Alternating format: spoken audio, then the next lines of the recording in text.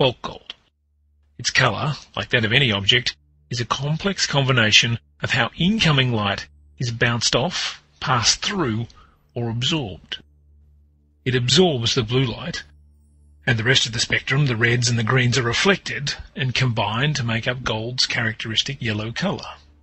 So far so good. But we need to dig a little deeper to understand why nanogold behaves differently. While it's convenient to think of gold as a hard wall of atoms, the science is a little weirder. It's not a wall, but rather a shared sea of loosely bound electrons that slosh back and forth over the bulk gold surface at regular intervals.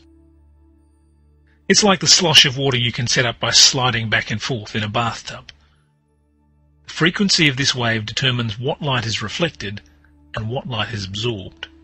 The name for this rate of sloshing is the surface plasmon resonance.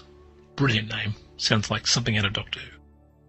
Nanoparticles are far smaller than bulk gold, so their shared electron sea is more like a pond. The nanogold pond sloshes back and forth faster than the bulk gold sea, and the frequency of light it absorbs is therefore different. It absorbs yellow and blue light and reflects, you guessed it, red light.